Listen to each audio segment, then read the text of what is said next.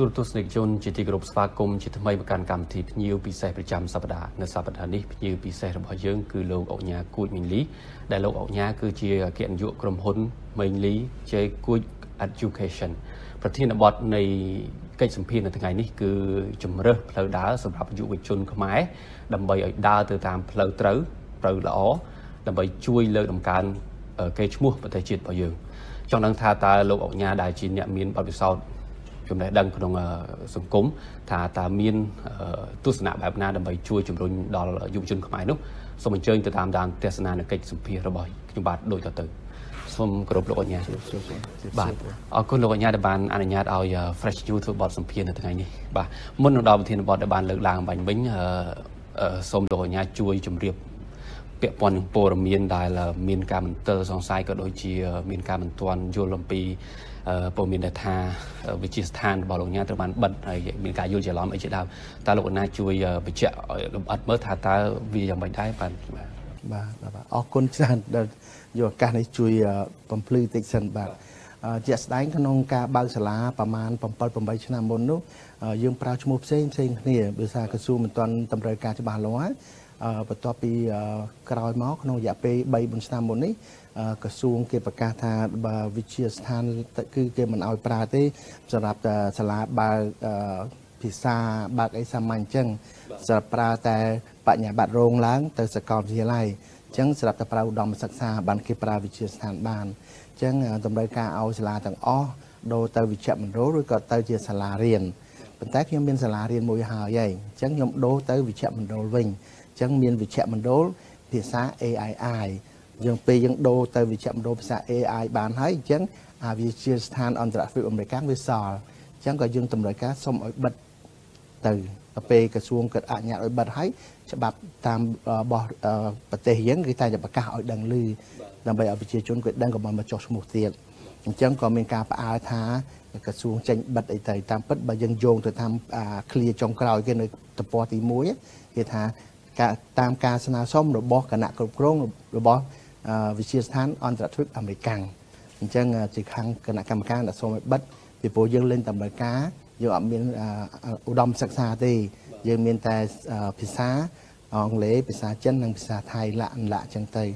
អញ្ចឹងយើងគឺមិនអាចប្រើឈ្មោះវិជាស្ថានទេយើងបានដូររួចមកហើយយូរហើយទៅជាវិជ្ជមណ្ឌលភាសា AII វិញបាទអ្វីដែលយើងធ្លាប់សិក្សាបដិបដាលគឺនៅតែដែរទាំងអស់ នៅដដែលទាំងអស់អត់មានប្រែប្រួលទេបាទគ្រាន់តែដូរឈ្មោះពីវិជាស្ថានមកវិជ្ជមណ្ឌលអាហ្នឹងគឺជាជាតម្រូវការក្រសួងព្រោះវិជាស្ថានគឺប្រើសម្រាប់តែឧត្តមសិក្សាហើយដោយសារយើងអត់មានឧត្តមសិក្សាទេយើងត្រឹមតែភាសាទូទៅអញ្ចឹងតម្រូវការដូរ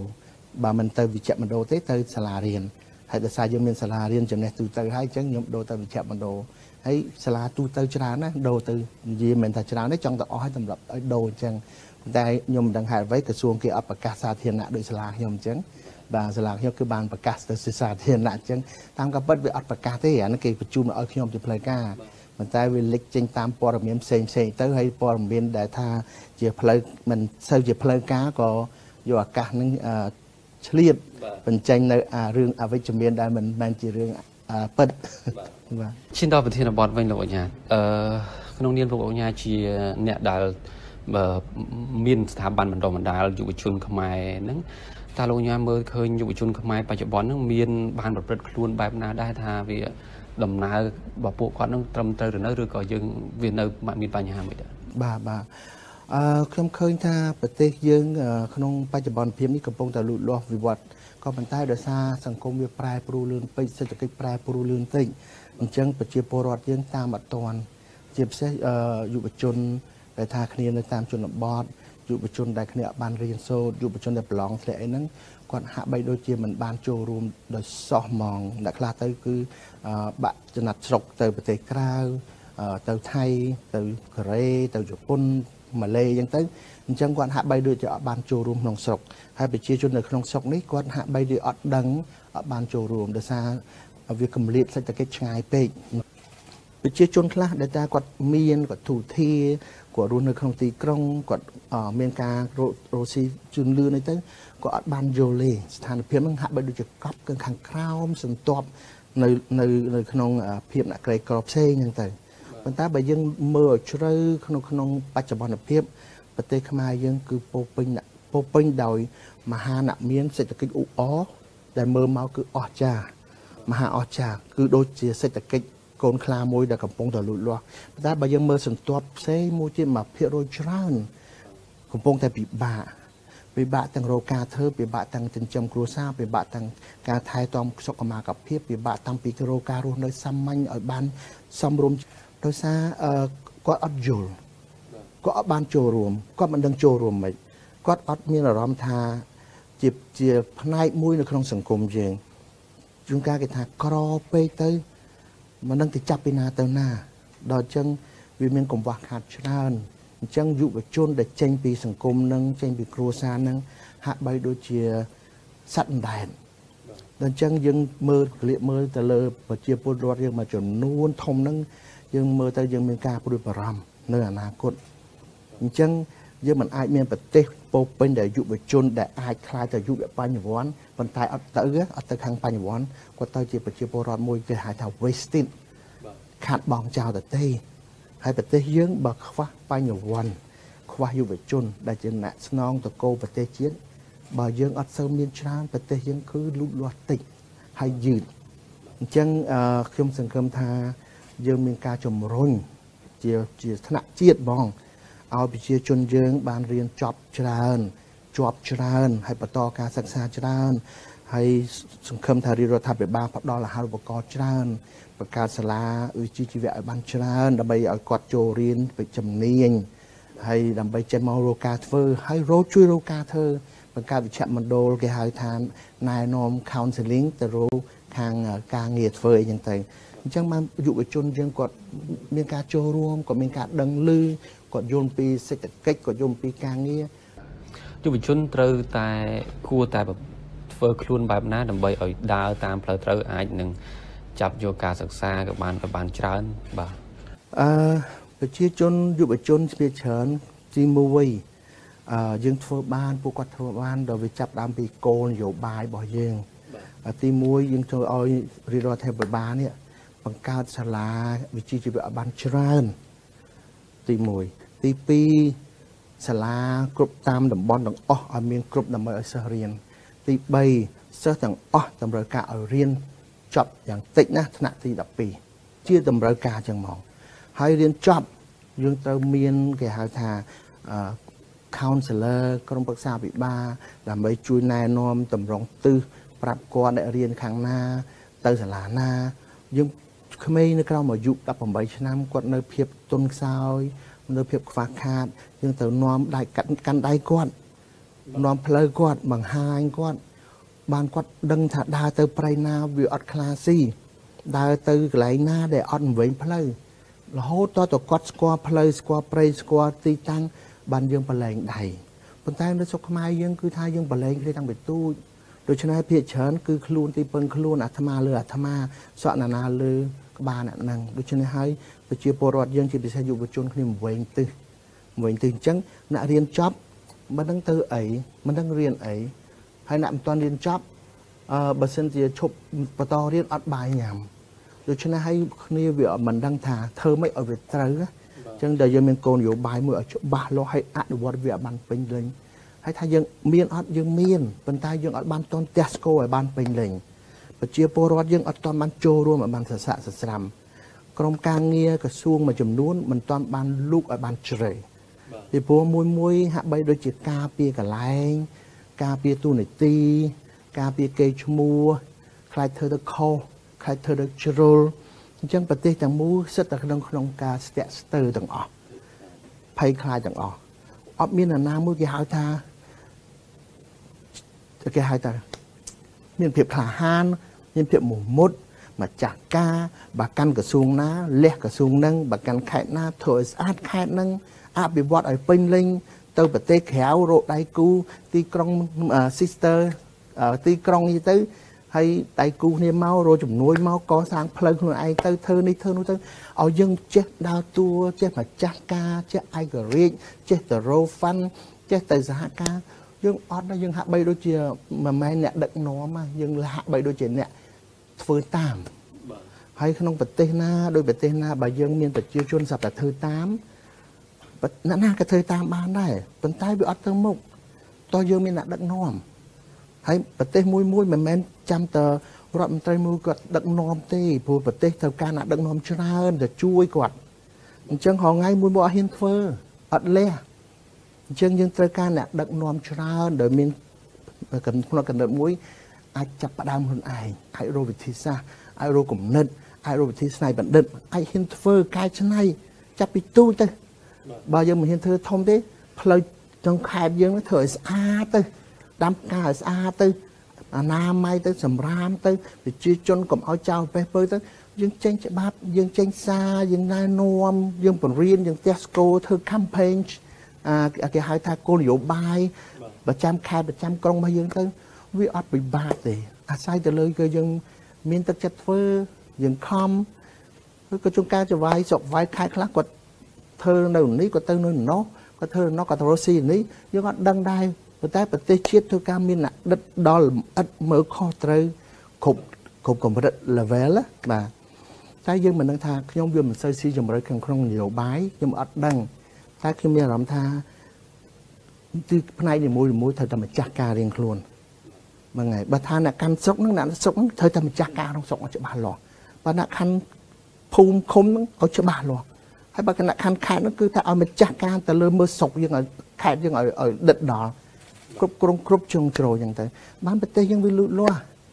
មើលតាំងពីសុខុមាលភាពរបស់កុមារសុខុមាលភាពរបស់ស្ត្រីរបស់ម្ដាយការរៀនសូត្ររបស់កូនវិជ្ជមណ្ឌលគ្រប់គ្រាន់នៅផ្លូវដើរទៅរៀនមានគ្រប់គ្រាន់នៅហើយតាភាពកក់ក្ដៅនៅក្នុងខេត្តទាំងមូលនឹងមិនដែរឲ្យយើងឲ្យយើងចេះឈឺឆ្អើខ្វាយខ្វល់អំពីប្រជាពលរដ្ឋយើងអាហ្នឹងមិនមែននយោបាយអាហ្នឹងគឺជាការស្នេហាជាតិជាការស្រឡាញ់ប្រជាពលរដ្ឋជាការខ្វាយខ្វល់ជាការឈឺឆ្អើរបស់បុគ្គលមួយប៉ុន្តែបើយើងអត់ទេប្រជាជនគាត់មិននឹងចាប់ពីណាទៅណាហើយជាវាយុវជនគាត់មិនវែង អញ្ចឹងទៅរហងៃនេះអ្នករកការងារធ្វើច្រើនអត់មានហើយអ្នកមានការងារច្រើនអត់មានអ្នកធ្វើហើយអ្នកចេះមុំមុំគេទៅក្រៅអ្នកអត់ចេះសោះនៅនេះអ្នកចេះខ្លាំងគឺទៅក្រៅទៀតដល់ពេលអញ្ចឹងយើងអត់មានធនធានមនុស្សយើងអត់មានអ្នកបញ្ញវន្តចេះផលិតចេះបកកបង្កើតរោងចក្រចេះបង្កើតរបស់នាំចេញរបស់នាំចូលយកអត់មានអ្នកគេហៅថា import export អ្នកគេហៅថា merchant អត់មានអ្នកគេហៅថា Rosie businessman ដែលចេះបង្កើតអាជីពឬក៏ការងារណាដើម្បីឲ្យប្រជាពលរដ្ឋយើងមានការងារធ្វើយើងហាក់បីដូចជាកង្វះខាតខ្លាំងហើយយើងប្រទេសទាំងមូល9 10លានកន្លះពោពេញដោយប្រជាពលរដ្ឋធ្វើការដែលគេហៅថាការងារ low education បាទការងារដែលមានចំណេះដឹងទាបយើងមិនមែនប្រទេសដែលពោពេញដោយ ប្រជាពលរដ្ឋមានចំណេះដឹងខ្ពស់ហើយការងារច្រើនទេការងារធំទេតែយើងនៅតែអញ្ចឹងរហូតយើងអត់លូតលាស់យើងលូតលាស់មែនតែដើរ3ជាហ៊ានថយ2ជាហ៊ានវាតិចវាយឺតអញ្ចឹងណាអញ្ចឹងអ្នកដឹកនាំកម្ពុជាកម្ពុជាដែលថាខំខ្លាំងវាហាក់បីដូចជាទាញមកវិញវាមិនងាយទៅមុខប៉ុន្តែបើផ្នែកនីមួយមួយខំខ្ញុំគិតថាប្រទេសយើងវិវត្តលឿនណាស់ហើយអឺយើងកំបាច់គិតថាដូរ អ្នកណាអ្នកណាគ្រប់គ្រងអ្នកណាគ្រប់គ្រងល្អឲ្យអ្នកហ្នឹងទៅដោយហងៃដូចថាខាងសម្ដេចគាត់គ្រប់គ្រងបានល្អអញ្ចឹងយើងគិតតែឲ្យគាត់គ្រប់គ្រងទៅយើងគិតតែធ្វើផ្នែករបស់យើងរៀងខ្លួនទៅហើយមួយមួយខំទៅយើងវាអត់ខំមួយមួយចាំមើលគ្នាតែពេលចាំមើលគ្នាអញ្ចឹងទៅហាក់បីដូចយើងតែប្រចាំគ្នាភាសាខ្មែរអញ្ចឹងប្រទេសយើងអត់លូតលាស់ទេបាទហើយដល់ពេលអញ្ចឹងយើងមោទនភាពនឹងមួយដាក់មានមួយចំនួនបដុំគ្នាហ្នឹង ហ្នឹងហើយអុកញ៉ានេះអុកញ៉ានោះយើងអស់ចាហើយដែលគាត់មានបាទប៉ុន្តែយើងមិនអាចយកចំនួនអ្នកមានប៉ុណ្ណឹងមកតំណាងប្រទេសទាំងមូលទេបើយើងបូកចូលគ្នាមិនស្មើអ្នកមានគេមកមួយនៅស្រុកគេផងហ្នឹងហ្នឹងហើយយើងត្រូវការអ្នកបញ្ញវន្តហើយយើងត្រូវការឲ្យឱកាសគាត់ចូលរួមឲ្យឱកាសគាត់ធ្វើឲ្យឱកាសគាត់ដឹកនាំដល់ពេលអញ្ចឹងបើយើងប្រើបញ្ញវន្តបានអ្នកបញ្ញវន្តរៀនទៀតចូលចង់រៀន ហើយបានចង់ធ្វើការបម្រើជាតិយ៉ាងទៀត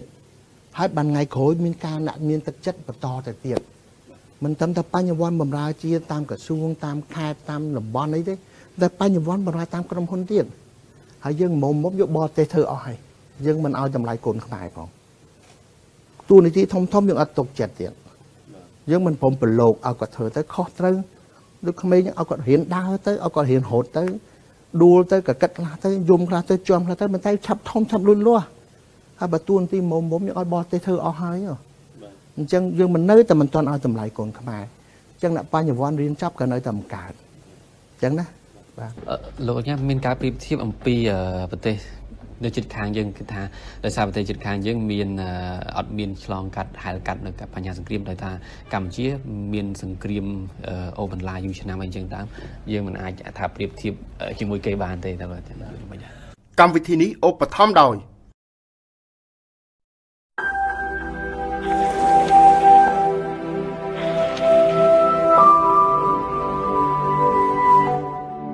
នេះ មិនមែនជាជីវិតក្នុងផ្ទះដ៏សាមញ្ញមួយនោះទេនេះជាជីវិតដែលផ្ដល់លទ្ធភាពគ្រប់យ៉ាងក្នុងការរស់នៅលទ្ធភាពឲ្យលោកអ្នកស្វែងរកជីវិតរស់នៅសម័យថ្មី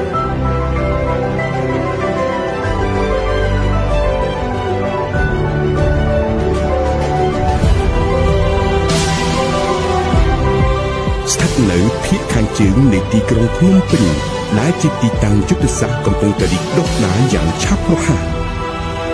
The Parkland 598 Jeep Monglen ជឿជាក់ក្នុងការរស់នៅលោកញ៉ាំមានការប្រៀបធៀបអំពីប្រទេស នៅជិតខាងយើងគឺថាដោយសារប្រទេសជិតខាងយើងមានអត់មានឆ្លងកាត់ហែលកាត់នៅបញ្ហាសង្គ្រាមដោយថាកម្ពុជាមានសង្គ្រាមអូបន្លាយយូរឆ្នាំអីចឹងតាមយើងមិនអាចថាប្រៀបធៀបជាមួយគេបានទេតែមិនយ៉ាងយើងមានសង្គ្រាមមែន3ឆ្នាំ8ខែប្រហែលថ្ងៃហ្នឹងមែនហើយវាពិតធ្វើឲ្យបញ្ញវន្តយើងស្លាប់អស់ពិតប្រកបមែនខ្លួនខ្ញុំឆ្លងកាត់រស់នៅក្នុងចំនួនហ្នឹងមហាសែនវិតាមី ហើយបើអត់មានគេហៅថ្ងៃ7មករាហើយថ្ងៃរំដោះកំខ្មែរក្រហមរលំវៀតណាមចូលបាទបើអត់មានថ្ងៃហ្នឹងមែនខ្ញុំគិតថាខ្មែរយើងដាច់ពូជហ្មងព្រោះចំពោះខ្ញុំគ្រួសារខ្ញុំទាំងអស់គឺថាឆ្លងកាត់មហាសែនវេទនាជាងនៅខ្ញុំមិនដែលស្គាល់នរុអីមិនតែបើរស់នៅក្នុងនរុឲ្យស្លាប់ទៅវិញល្អជាងរស់នៅជំនាន់ពលពតវិជ្ជនាណាអញ្ចឹងខ្ញុំគិតថាអ្នកណាក៏ដោយដែលរំដោះខ្មែរយើងចេញពី ចំនួនឋានរុហ្នឹងណាគឺមកជីវិតយើងដឹងគុណគេពីព្រោះទស្សនភាពហ្នឹងគឺធ្វើឲ្យខ្មែរយើងដាច់ពូជងាប់មែនអ្នកណាក៏ឈឺអ្នកណាក៏ងាប់អ្នកណាក៏អត់អីញ៉ាំដាច់ពោះដូច្នេះហើយយើងឆ្លងកាត់ពិបាកដាច់ពី0យាមែនប៉ុន្តែឥឡូវនេះយើងគិតទៅ38 39ឆ្នាំហើយចូលចិត្ត40ឆ្នាំហើយអញ្ចឹងយើងយកតបៅចាស់យើងព្យាបាលជាហើយអញ្ចឹងនៅមានសាលា វាឆាប់ឈឺមែនវាឆាប់តបៅមែនប៉ុន្តែក្នុងរយៈពេលជិត40ឆ្នាំនេះសម្ដេចគាត់ដឹកនាំបានល្អប្រទេសយើងតាំងពីខ្ញុំមកស្រុកខ្មែរម៉ោងសិតដីកឡុកបើក2ថ្ងៃមិនតាន់ដល់ក្រុងផងឥឡូវយើងបើកមកយប់មកផ្លេច4ម៉ោង2ម៉ោងឲ្យដល់បាត់ហើយអញ្ចឹងវាវិវត្តឆ្ងាយណាស់លឿនណាស់អញ្ចឹងគោលនយោបាយរបស់គាត់គឺថាគាត់ចង់ឲ្យប្រទេសលឿនជឿនលឿនហើយអ្នកនយោបាយគេគេពិភាក្សាគ្នាទៅប៉ុន្តែប្រជាជននេះ ធ្វើកិច្ចការយើងទៅរស់ស៊ីទៅអភិវឌ្ឍទៅវិនិយោគទៅដឹកនាំទៅហ្នឹងហើយយើងដូចនៅនៅប្រទេសគេផ្សេងអញ្ចឹងណាបាទនយោបាយគេគេបញ្ចោចាស់នេះលើលើទៅយើងប្រជាជនយើងគិតតែពីធ្វើទៅរស់ស៊ីទៅហ្នឹងហើយកាត់បន្ថយពុកអលួយទៅកាត់បន្ថយអាគេហៅបពពួកនិយមទៅកាត់បន្ថយអាក្បួនស្គៀបសង្កត់អីខ្លះទៅពីព្រោះជួនកាល គោលនយោបាយនឹងល្អតែអ្នកអនុវត្តនឹងមិនល្អនេះក្រោមក្រោមខាងក្រោមឋានៈនឹងវានៅតែមានបញ្ហាវាធ្វើឲ្យប្រទេសទាំងមូលតាំងមានគេស្អប់ដោយសារមកពីការអ្នកដឹកនាំជំនាន់នេះវាបង្កើតប៉ុន្តែអ្នកដឹកនាំគឺចង់ឲ្យប្រទេសល្អចង់ឲ្យប្រទេសជឿនលឿនចង់ឲ្យប្រទេសអនុវត្តឲ្យខំមកជីវិតវេទនាណានាំបានប៉ុណ្ណឹងហើយលើសួរអ្នកណាគេដែលអាចកសាងប្រទេសដែលអាចសង្គ្រោះប្រទេសឲ្យបានដូចអញ្ចឹង គ្មានក្នុងប្រវត្តិសាស្ត្រគ្មានទេអត់មានអ្នកណាល្អអញ្ចឹងតាមចំពោះខ្ញុំណាអញ្ចឹងប៉ុន្តែបើធ្វើអញ្ចឹងហើយណាក់ជើងក្រោមទាំងអស់មេតាជំរុញឲ្យទៅមុខទៀតបាទរោវិធីសាស្ត្រជួយប៉ះពៅជួយបំពេញជួយជួយបន្ថែមជួយធ្វើល្អដើម្បីទាំងអស់នេះវាទាញទៅទៅរួចទាំងអស់បើម្នាក់ខំម្លឹងម្លឹងហើយអ្នកក្រោមទៀតមិនព្រមខំអញ្ចឹងអ្នកនេះ ខំអញ្ចឹងទៅអ្នកនេះទាញមកវិញអ្នកនោះខំមែនតើគាត់ខំទៅនេះទាញមកវិញអញ្ចឹងអាអ្នកទាញនោះដូចជាថាដូចជាពុកអលួយដូចគៀបសង្កត់គេ ដូចជាចេះតែគេរាំងស្ទះមិនឲ្យទៅអាបោះនេះសញ្ញេឲ្យមកព្រមសញ្ញេរបស់នេះបងលុយបងព្រមឲ្យអានេះគ្នាឯងឲ្យវានៅតែជុំវិញអស់ហ្នឹងដូច្នេះហើយចង់អភិវឌ្ឍក៏ពិបាកដែរពួកគាត់តែម្នាក់ឯងយើងចង់ឲ្យអ្នកដតីផ្សេងចូលរួម ហើយចូលរួមឲ្យជួយពពោះជួយអ្នកណាគេជួយប្រទេសជាតិហើយជួយអ្នកណាគេជួយប្រជាជនខ្មែរហើយជួយអ្នកណាគេជួយកូនខ្មែរជំនាន់ក្រោយដែលជាអ្នកស្នងតកូនហ្នឹងអញ្ចឹងចំពោះខ្ញុំខ្ញុំអត់សូវយល់ពីនយោបាយខ្ញុំអត់ដឹងថាគួរនិយាយយ៉ាងម៉េចប៉ុន្តែខ្ញុំឃើញសម្ដេចគាត់ធ្វើការហត់សែនហត់ហើយប៉ុន្តែបើប្រជាជនខាងក្រៅមួយចំនួនណាដែលអ្នកកាន់ច្បាប់ទូតាទូតាមួយចំនួនឲ្យមានការយុត្តិធម៌ទៅ ឲ្យមានការបំភ្លឺឲ្យប្រជាជនយល់ខ្លះទៅហើយធ្វើអ្វីដែលថាគួរតែធ្វើដែលសមស្របណានឹងគោលនយោបាយទៅខ្ញុំថាប្រជាជនស្រឡាញ់ងាប់ខ្លួនប្រទេសមហាសែនអភិវឌ្ឍហើយប្រជាជនរស់នៅដោយសុខដុមរមនាពីព្រោះក្នុងរយៈពេល39ឆ្នាំទៀតវាអត់មានសង្គ្រាមទេវាមហាសែនសុខត្រជាក់ត្រជុំហើយយើងមិនដែលឃើញប្រទេសខ្មែរយើងអភិវឌ្ឍដូចអញ្ចឹងទេជំនាន់ប៉ាខ្ញុំយាយខ្ញុំបិតាមកទៀតគាត់ថាក៏មិនដែលឃើញមានដែរ ជំនាន់ខ្ញុំនេះគឺខ្ញុំទៅឃើញដំបងឯស្រុកខ្មែរដែលថាស្ងៀមស្ងាត់អភិវឌ្ឍទីក្រុងអាគារខ្ពស់លូតលាស់ណាយើងក្រវេទនាមែនក៏ប៉ុន្តែមិនមែនលហេមលហាមដូចជំនាន់មុនទេគាត់ថាបើយើងប្រៀបធៀបនឹងជុំវិញយើងយើងគេទៅមុខជាងយើងអញ្ចឹងដើម្បីឲ្យប្រទេសខ្មែរយើងមានឱកាសស្គាល់ការអភិវឌ្ឍស្គាល់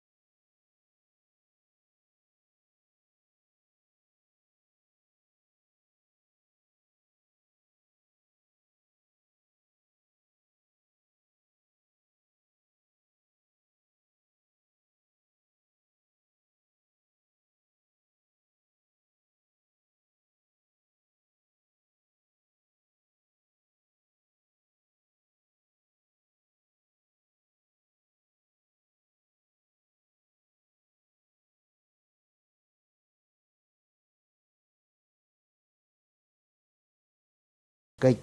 កុំឲ្យធ្វើពីមុខអញ្ចឹងណាបាទយើងទាំងអស់គ្នាគេហៅថាលុកដៃសស័កសរាមជួយហ្នឹងហើយលោកអញ្ញាជាចុងក្រោយតើក្នុង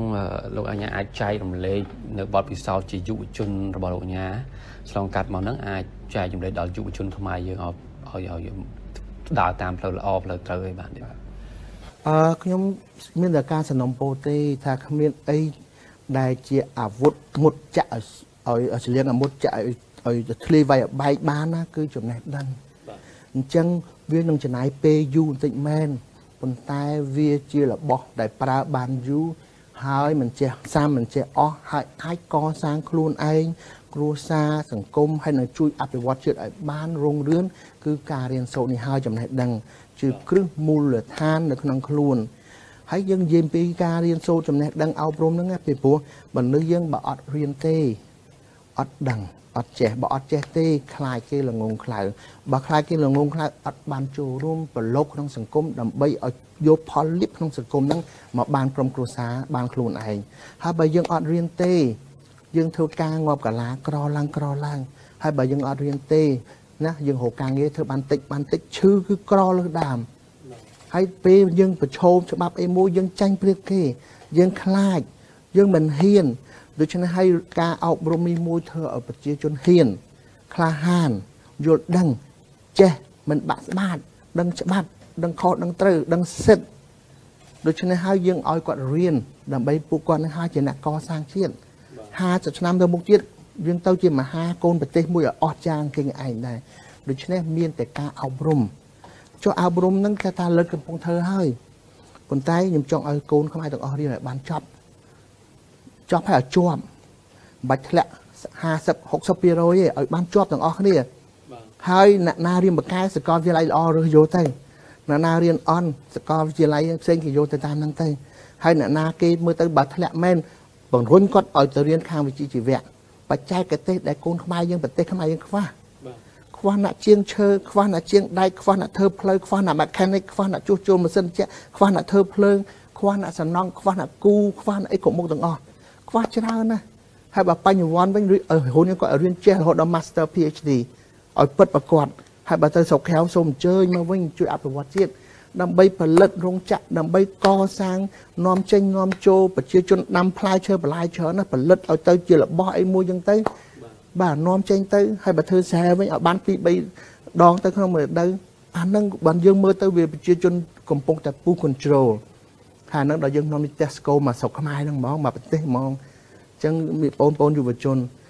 កាត់បន្ថយការញ៉ាំស្រា កាត់បន្ថយការលេងល្បែងកាត់បន្ថយការជក់បារីมันអាចទុកបាត់បានទាំងអស់ហើយតែសូមសូមវល់កាត់បន្ថយហើយកាត់បន្ថយណានឹងការប្រើគ្រឿងញៀនហើយឧស្សាហ៍មើលព័ត៌មានឧស្សាហ៍អានសិភៅឧស្សាហ៍តាមដាន ប្រវត្តិតាមដានព័ត៌មានតាមដាននយោបាយចូលប្រឡូកដឹងឮឈឺឆ្អើបានយើង ដឹងថាប្រទេសយើងនៅកន្លែងណាស្ថិតនៅស្ថានភាពម៉េចហើយយើងគឺនៅក្នុងកន្លែងណាយើងអាចជួយម៉េចយើងអាចចូលរួមម៉េចយើងអាចដឹងឮម៉េចពេលហ្នឹងបានយើងជាអ្នកប្រជាជននៅក្នុងប្រទេសហ្នឹងដែលយើងប្រជាជនខ្មែរពិតប្រាកដបើមិនអញ្ចឹងទេយើងគ្រាន់ជាចំណាក់ស្នាក់អាស្រូវនៅកន្លែងហ្នឹងទេអញ្ចឹងយើងហាក់បីដូចមកផ្ញើខ្លួនអញ្ចឹងមួយមួយមកផ្ញើខ្លួនមកផ្ញើខ្លួនយកមកអាស្រ័យតើប្រទេសយើងវាមិនទៅវិញថ្ងៃក្រោយបាទអញ្ចឹងមានតែប្រមាណគ្រាប់មានប្រមាណអ្នកមានប្រមាណបញ្ញវន្តតើយើងអាចរស់បានទេ6 10លានកន្លះហ្នឹងយើងរស់បានតែតែដេកដដប់ហាក់បីដូចជាមិនលះទៅមុខមិនអភិវឌ្ឍមិនជឿនលឿនឲ្យវាផុសផុលដូចគេដូចឯងអញ្ចឹងបាទអញ្ចឹងមានតែសំណុំពោឲ្យបងប្អូនទាំងអស់បាទថាទៅស្រុកគេធ្វើការទៅចុះ ធ្វើឲ្យសំលុយមកស្រុកខ្មែរវិញ គឺបើករកស៊ីធ្វើអីមួយឲ្យលូតលាស់ទៅស្រុកគេឲ្យមើលឃើញហើយគេអភិវឌ្ឍមិនគេជឿនលឿនមិនគេធ្វើមិនអនាម័យមិនសម្ដាប់ធ្នាប់មិនវិន័យមិនសេវាកម្មមិននាំអតីតកាលមកបច្ចុប្បន្នភាពស្រុកខ្មែរយើងវិញ ដើម្បីចូលរួមកសាងគុំវិញទឹះចូលនយោបាយគុំវិញទឹះទៅធ្វើនេះធ្វើនោះហើយគុំគុំវិញទឹះចាញ់បោកគេគុំវិញទឹះផ្ញើលុយឲ្យគេធ្វើនេះធ្វើនោះគុំ ទៅហើយបាក់បាយប្រពន្ធកូនម៉ែឪរាប់ឆ្នាំអញ្ចឹងសូមទៅហើយរក្សាខ្លួនបានល្អកសាងខ្លួនបានល្អធ្វើការបានល្អសំលុយឲ្យបានច្រើនត្រឡប់មកស្រុកខ្មែរវិញចូលរួមអភិវឌ្ឍកសាងខ្លួនរស់ស៊ីដើម្បីថ្ងៃក្រោយមានបានគេបើយើងទៅកន្លែងតែបដកម្មយើងទៅកន្លែងចូលនយោបាយយើងទៅកន្លែងផ្ញើលុយចាញ់បោកគេរស់ស៊ីតកហល់ដែលថាយើងនៅក្មេងមិនទាន់ដឹង មកវិញដែរទេមកវិញដែរទេ បានការអីបាក់បែកក្រុមគ្រួសាររាប់ឆ្នាំ កូនខ្លះទៅទៅបាន2ខែមកវិញ5ឆ្នាំបាត់ហើយម៉ែឪខ្លះទៅបាត់មកវិញម្ដាយស្លាប់បាត់ហើយវាអាភ័ព្វហ្នឹងហើយអញ្ចឹងទី1រឹងមាំស្មារតីខំធ្វើការឈឺចិត្តដើម្បីយកលុយនឹងមកកសាងខ្លួនកសាងគ្រួសារហើយអភិវឌ្ឍឲ្យបានជឿនលឿនមានដូចគេមួយឯងបាទមិនថាអ្នកទៅថៃមិនថាទៅនៅកូរ៉េ ហើយកុំភ្លេចហើយកុំមើងងាយជាតិកុំមើងងាយប្រទេសព្រោះអ្នកនាំកំណើតគេថាកុំមើងងាយម៉ែឪអ្នកផ្ដើមកំណើតឲ្យយើងប្រទេសគឺជាអ្នកផ្ដើមកំណើតជាតិឲ្យយើងដែរអញ្ចឹងកុំមើងងាយអ្នកខ្លះបានទៅថៃទៅលេងចង់មកវិញភ្លេចទាំងប្រទេសខ្មែរយ៉ាប់ពេញនៅតែយ៉ាប់ចឹងបើយើងមួយមួយថាយ៉ាប់នៅតែអញ្ចឹងអញ្ចឹងបើយើងនៅថាអញ្ចឹងអញ្ចឹងបើយើងបានស្រួលហើយត្រឡប់មកវិញចូលរួមកែចូលរួមអភិវឌ្ឍ ចូលរួមជុំជ្រែងឲ្យប្រទេសយើងជើងកោមកឲ្យមមអណែនហើយចាប់ពីមួយទូទូទាំងអស់គ្នាហ្នឹងចុះបើប្រជាជនទាំងអស់មិនចូលរួមហើយមួយមួយអង្គុយតែនិយាយអង្គុយតែតិទៀនអង្គុយតែវាយប្រហារហើយមួយមួយចេញទៅក្រៅអង្គុយតែបាតកម្មហើយមកក្នុងស្រុកវិញអត់ព្រមកែខ្លួនអត់ព្រមអភិវឌ្ឍអត់ព្រមកសាងអត់ព្រមចូលរៀនអត់ព្រមបណ្ដុះបណ្ដាលតើអ្នកណាជួយអ្នកណាបានមនុស្សម្នាក់មិនអាចជួយបានទេគេហៅតាមមកភូមិ មកស្រុកមកសង្គមមកប្រទេសជាតិបានចូលរួមជួយបានប្រទេសខ្លួនឯងដូច្នេះហើយមានតែការសំណូមពរទៅឲ្យបងប្អូនយុវជនភ្ញាក់អារម្មណ៍ភ្ញាក់ស្មារតីដាស់តឿនខ្លួនឯងធ្វើអ្វីអ្វីមិនបាច់គិតពីអ្នកណាឆ្វេងស្ដាំវិញនេះធ្វើខ្លួនឯងអភិវឌ្ឍខ្លួនឯងកសាងខ្លួនឯងឲ្យខ្លួនឯងរឹងមាំមួយមួយរឹងមាំប្រទេសទាំងមូលរឹងមាំហើយសូមអរគុណច្រើនដល់ដែលបានផ្ដល់បទសម្ភាសន៍បា ទូរទស្សនិកជនជាទីគោរពកិច្ចសម្ភាររបស់ខ្ញុំបាទជាមួយនៅលោកអបញ្ញាគួចមីលីនៅពេលនេះក៏ដល់ទីបញ្ចប់សូមថ្លែងអំណរគុណយ៉ាងជ្រាលជ្រៅចំពោះការចំណាយពេលវេលាដ៏មានតម្លៃតាមដានទស្សនាតាំងពីដើមរហូតចប់សូមជម្រាបលា I just need to clear my